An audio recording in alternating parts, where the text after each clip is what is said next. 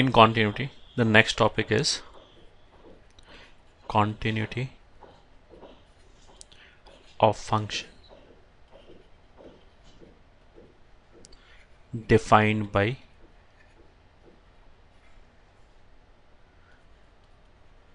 functional rules. Continuity of the functions which are defined by functional rules.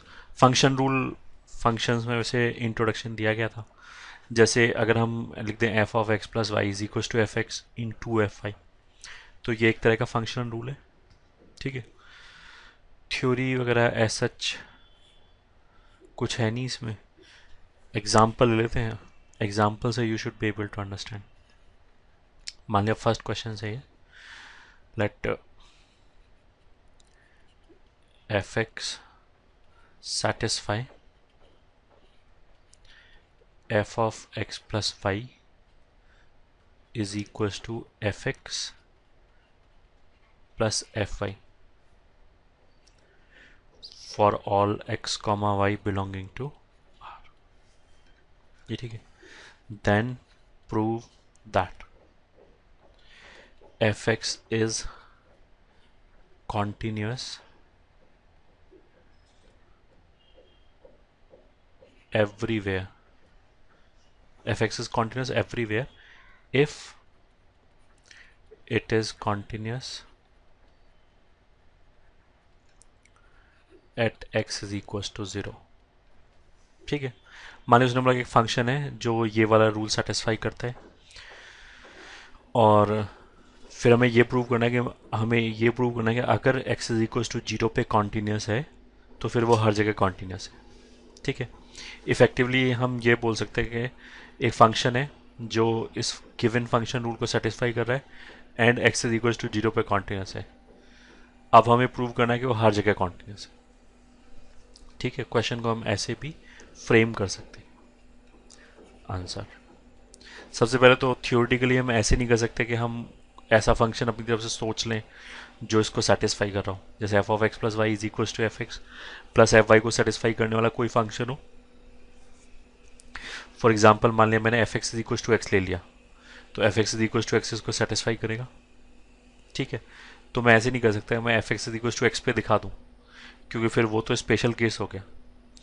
या तो मैं ये प्रूव करूँ कि इस इक्वेशन को सेटिस्फाई करने वाला F X is equal to X is the only function तब तो हम ऐसे कर सकते हैं।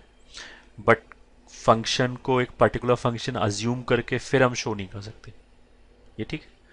क्योंकि ऐसा हो सकता है कि थियोरटिकली ऐसा हो सकता है कि जो फ़ंक्शन हमने अज्यूम किया, केवल उसी के लिए सेटिस्फाई हो रहा हो, बाकियों के लिए नहीं हो रहा हो तो वो प्रूव कैसे करेंगे?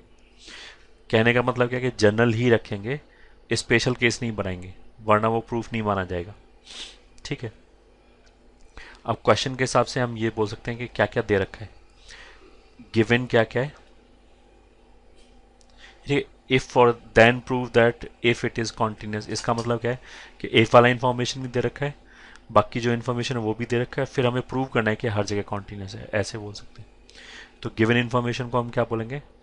एक तो हमें ये दे रखा है कि F of X plus Y is equal to F X plus F Y ये ठीक है? फॉर ऑल एक्स वाई एक तो ये हमें क्वेश्चन में इंफॉर्मेशन है। तो एक तो हमने इसको इक्वेशन वन बना के लिख लिया। कहीं ना कहीं यूज़ हो रहा होगा। दूसरा इन्फॉर्मेशन ये दे रखा है कि एफ़ एक्स मान ली ये तो first information है। Second information says fx is continuous at x is equals to zero ठीक है? अगर तुम्हें लग रहा है कि इसने इफ़ बोला है तो वो तो एक ही बात है ना। उसने तो ये बोला कि ये हर जगह कंटिन्यूस है। If X is equals to zero पे कॉन्टिन्यूस है। ये प्रूव करना है। तो if X is equals to zero पे कॉन्टिन्यूस है तो हर जगह कॉन्टिन्यूस है। मतलब X is equals to zero पे कॉन्टिन्यूस हमने मान लिया, है? फिर हमें ये प्रूव करना है इफेक्टिवली कि हर जगह कॉन्टिन्यूस है। ठीक है? तो F X is continuous at X is equal to zero ये गिवन है। अब ये तो हमने स्टेटमेंट में लिख दिया F X is continuous at X is equal to zero अगर हमें यूज़ करना है तो इस बात को हमें मैथमेटिक्स में या इक्वेशन में कन्वर्ट करना पड़ेगा। इस स्टेटमेंट को इक्वेशन में कन्वर्ट करना पड़ेगा। अब इक्वेशन में कैसे कन्वर्ट करेंगे? अगर F X X is equal to zero पे कॉन्टिन्यूस है, अगर F X X is equal to zero पे कॉन्टिन्यूस है तो X is equal to zero पे limiting value and functional value बराबर होना चाहिए। ये ठीक है? तो इसको हम ऐसे बोल सकते हैं कि limit X is tending toward zero F of X ठीक है? ये तो क्या हो गया? लिमिटिंग वैल्यू एफ़ एक्स का limiting value at X is equal to zero this should be equal to F of zero ठीक है?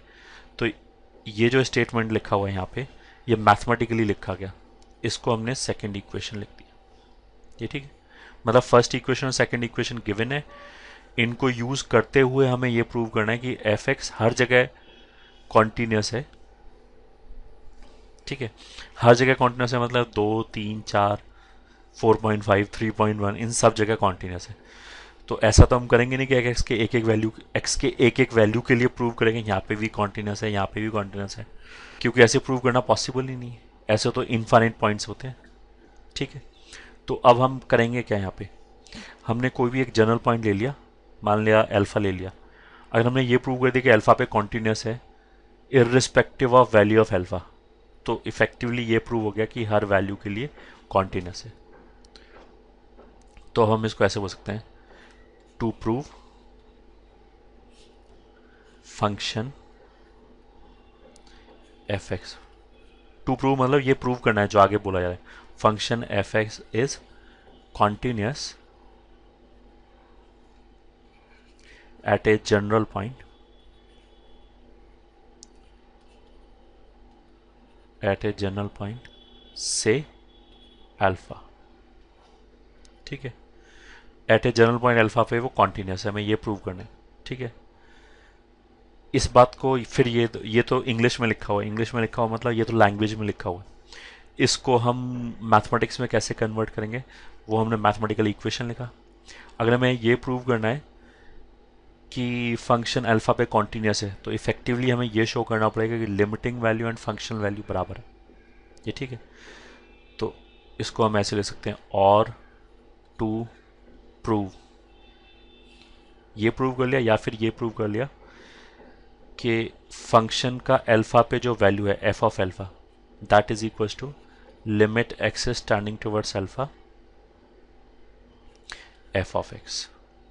ये ठीक है और टू प्रूव दिस जो लेफ़्ट हैंड साइड है, वो तो फ़ंक्शन वैल्यू लिखा है, जो राइट हैंड साइड है, वो लिमिटिंग वैल्यू लिखा है. जो भी गिवन इन्फॉर्मेशन है, ये ठीक है, ये गिवन इन्फॉर्मेशन क्या है, केवल ये दोनों इक्वेशन है.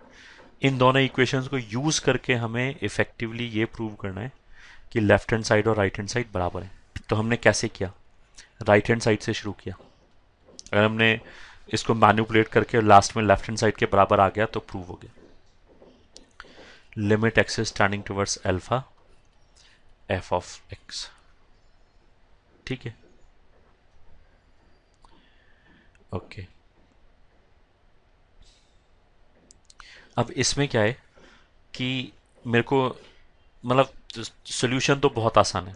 अगर मैं ऐसे सोचूं, किसी भी तरीके से ये जो दो इक्वेशन है, इनको यूज़ करेंगे तो प्रूव हो जाना चाहिए।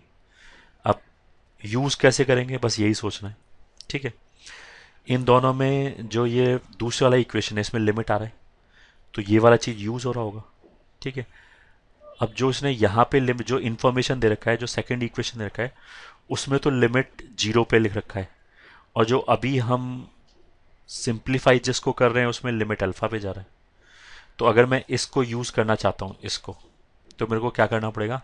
लिमिट ज़ीरो पे आना चाहिए। ठीक है? अच्छा ये समझ में आता है राइट हैंड साइड पे जो एफ़ ज़ीरो है, वो तो एक फिक्स नंबर होगा, कुछ भी हो सकता है वो। लेफ़्ट हैंड साइड पे limit X tending toward zero F of X लिखा है। ये तो वेरिएबल है वेरिएबल का नाम तो कुछ भी हो सकता है। मतलब अगर मेरे पास और कहीं, ये तो इन्फॉर्मेशन दे रखा है, और कहीं मान लिया ऐसे आ जाए limit Y tending toward zero F of Y तो उसका वैल्यू भी एफ़ ज़ीरो ही हो जाएगा इसको यूज़ करके। एक्स की जगह वाई बोल दिया, उससे क्या फ़र्क पड़ता है? ठीक है? तो अब लिमिट ये जो अल्फ़ा है, इसको मुझे कहाँ भेजना है? ज़ीरो की तरफ़ भेजना है। तो उसके लिए सब्सटीट्यूशन यूज़ कर सकते हैं। वो हमने लिमिट के चैप्टर में पढ़ा रखा है। कैसे यूज़ करेंगे? Put X is equal to alpha plus H या फिर नया वेरिएबल एच कितना हो गया? एक्स माइनस अल्फ़ा अब अगर एक्स अल्फ़ा को जाएगा तो ये राइट हैंड साइड ज़ीरो को जाएगा. This will imply H will tending towards zero ठीक है H will be tending towards zero अब ये सब्सटीट्यूशन किया लिमिट तो limit X is tending towards alpha की बजाय हमने इफेक्टिवली क्या किया है? इस पुराने वेरिएबल एक्स को चेंज करके नया वेरिएबल एच लेके आए हैं. ठीक है?